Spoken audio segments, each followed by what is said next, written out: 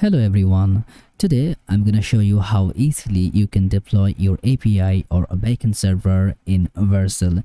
Now, I have a simple project which I created using the Node.js. As you see, there's only a few single dependency here, which that uh, of the Express to creating the route and also having the Stripe for the payment authentication. And typically, I have only few routes. As you see, I have five routes here, and all the routes I'm injecting here within this uh, index.mjs JS, MJS because I use the modular JS. So as you see, all I am funneling to just input with that 5 router.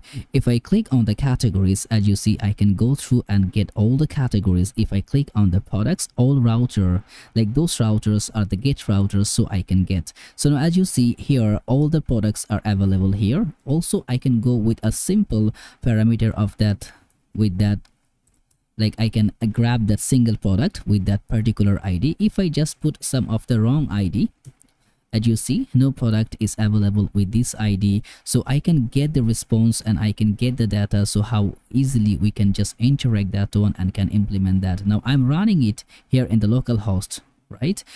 The setup is coming from there by which in the 8000 ports i'm running from my local server. Here in that stripe checkout is that uh, is a post route as i'm hitting that with that for the payment authentication that's why i cannot get from there. So it's a post route but other routes as the highlights and blocks all are getting as like the get routes. So how we can deploy that. Now there is another server is there which i deployed in my uh, like the Vercel and i'm having that particular route to have the distribution on that. And the same parameter same alignment going to happen here. If we just go with that id you can see you can grab the single one. And also if you're putting something messing around you see all are working fine. And how you can deploy that one if you want to do it by yourself and there's a simple way to do it. First you need to connect your project with any of that repository and you need to deploy that your code entire code on that repository. First of all let's just put that git status. As you see all are updated. Not updated because there is a branch i created and i just uh modify one of the package file. So as you see that's my branch here admin yt here i have all the code which i push here. If you're having problem just i'm gonna pin how to deploy the code uh, uh, like push the code in github. You can better to watch and know about a bit. And if you're annoying that one that you can just go through and start the other process. As i change to project uh, to file from here i'm gonna just git add dot and also i'm gonna just git commit which going to be um and updated. Okay.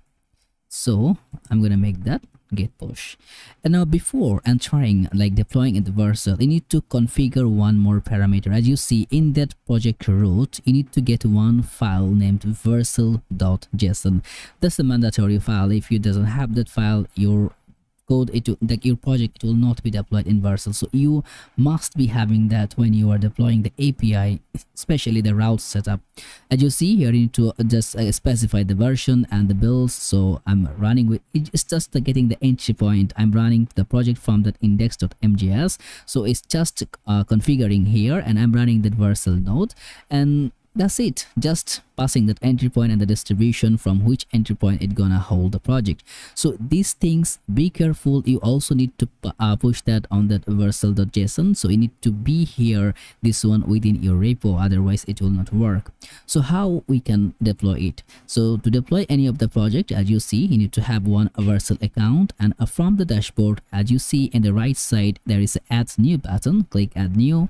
And i will just go with that new uh, project so there is a several way you can deploy the project in Vercel. The fastest way and the best way from the Vercel rec uh, recommendation is that uh, pushing that one from the GitHub. Okay, now here you can see that my that entire this uh, GitHub repo is already linked from here, so I can get my you can just get linked from that at GitHub account. You can switch Git provider also, but now this is the repo I have that admin YT which is available here. So I need to import that one in my within my project.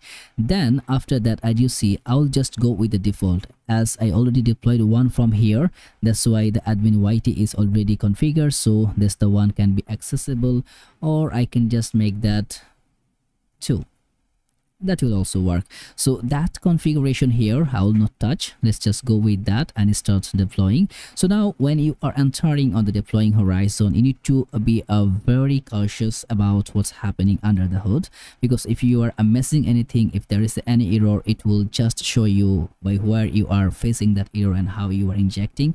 As you see it's a very few simple dependency. Traffically, if you are deploying in the client-side application it's getting a long time because it's installing lots of dependencies and there is lots of uh, routing setup which need to combine but here it's very simple. As you see it's deployed so we're gonna visit soon.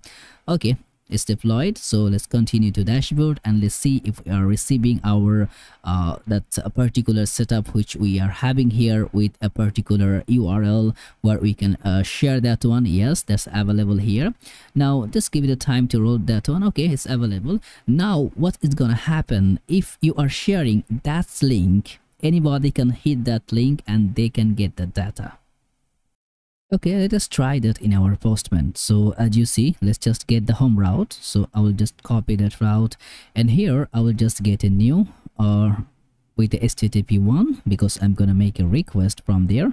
Okay that's the get request. If i just paste my link and enter hits let's see if i will be able to get some product or not. You see it's sending the request. Let's just uh let's just uh, give it the time to render that okay now you can see i the product is loaded which are having the 14 products and you can get through the preview go with the pretty go with the row you can see the product is coming here. And also if i passing with that particular id 2001 let's see if i hit on that is uh, passing any product or not. Yeah single id product is available. If i put some random id which product is not available you see new product is available with this id you can pass on one status which can be written as failed so that uh, doesn't have an issue with that. So now as you see our link is available so now we can go and easily uh, work with that. And for that one as you see as uh, i told you that's just uh, the checkout responses which is a post request. If you just want to go and test that one it will just come up with a separate error which uh, can be uh, pushing through it with the limitation that how the what kind of credential we need to require. So it's a post method. Okay let's hit on that on the checkout. You see error. Because there is uh, so many things which you need to pass with that so it will not uh, reveal whatever the things is available or not. So with that parameters we can now get our api with the real world. So you can just go through and get the products and get the high list things. So everything it gonna work. So that is very simple to deploy it Vercel so now if you want to also learn about more deploying of uh, ideas where you can deploy in the node.js application. Let me know in the comments below. And also please like the video and subscribe the channel and let me know which one you are preferring. Then i'm gonna make a video and share it with you. Also in next video